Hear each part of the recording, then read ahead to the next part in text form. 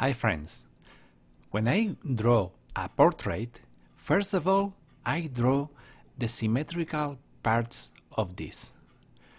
Usually, I begin with the eyebrows, but in this case, this old man has the eyebrows really thin and, um, and without a very definite shape. So, I begin this time drawing the eyes. Once I have the eyes, I'll draw the rest of the face. Many people think that uh, it's better to draw first the oval or the shape of the face, of the entire face. I think I agree too with that method, but for me, it's best draw from the eyebrows, nose, and eyes, and going outward drawing the portrait.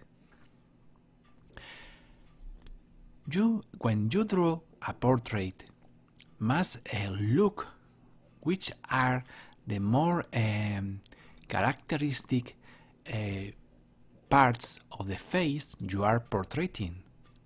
In this case, we see this man has a look, a really expressive look, and a big nose, and it is air with many shadows and wrinkles. So I'll draw it first, and when I have a sketch that suits for me, then I'll begin with the shadows, but not I don't uh, shadow uh, from one side, from one corner, and going on. No, I I give the shadows part by part symmetrically. Stop. This is Graphite Powder, an artistic blending stump. With it, I can draw the first shadows, the most characteristic shadows. As you see, I am drawing with it, but this is not a pencil. It is just paper uh, in a roll. This is a blending, artistic blending stump. As you can see, the material list I used to do this portrait are in the description of this video below. Okay, some shadows are more difficult than others, but always begin to shadow more under the nose, under the chin, etc. With a mauve brush, I extend a generous quantity of graphite powder, as you see. This is not the orthodox method to draw a portrait. This is just a way, my way, to draw a portrait like this. I'm not using, I don't use always the same method or way to draw a portrait. I just try, I experiment, because I think a portrait not all no not is all no, it's not a photography. It's an art. You must uh, catch the soul the soul of the person or the you are portraying. I think this is the hardest the hardest uh, point the hardest goal you must achieve when you draw a portrait. Try to uh, get the personality of that people or that person in your portraits. With a, a precision, precision a eraser like this, I can draw erasing, I can draw white hairs. So this is very useful when we draw people with white hairs. Always uh, eliminate the stains of the eraser with a brush, with a white brush and not with a hand, okay?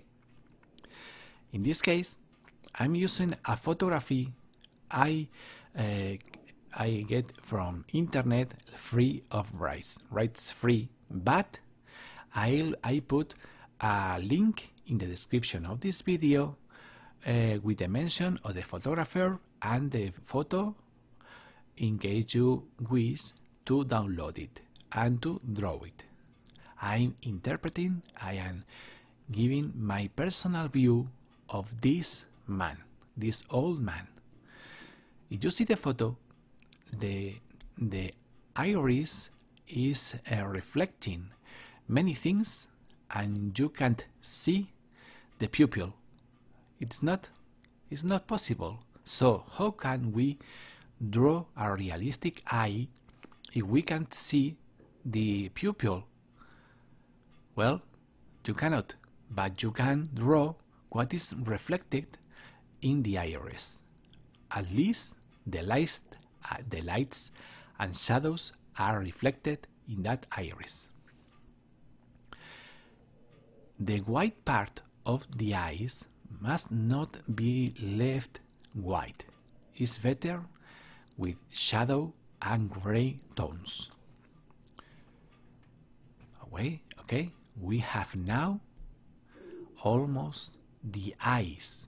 For me, the eyes are the most important part of a portrait.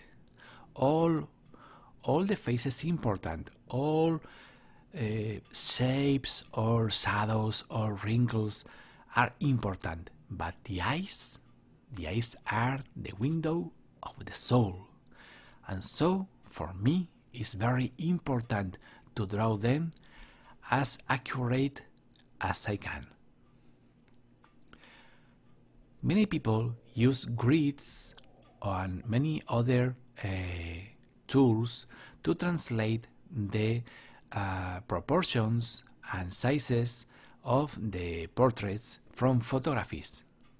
But these methods are not useful when you are drawing from uh, actual people, a real people that is in front of you seated.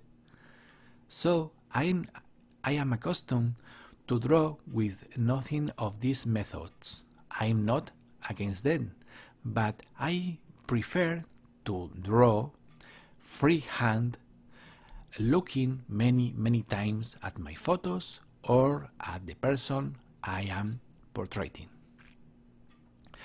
With practice, you can achieve a very uh, approximate, uh, seamless, seamless with the people you are portraying.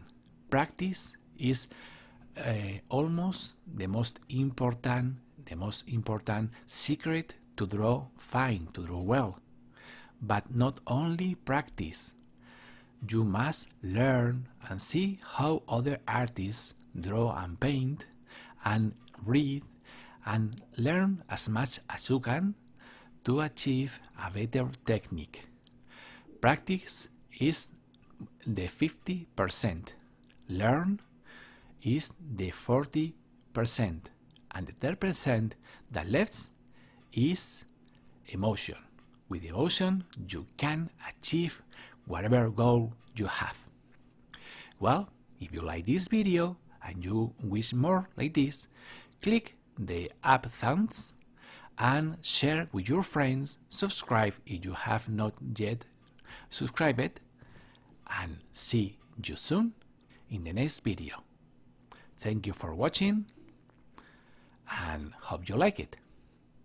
Bye.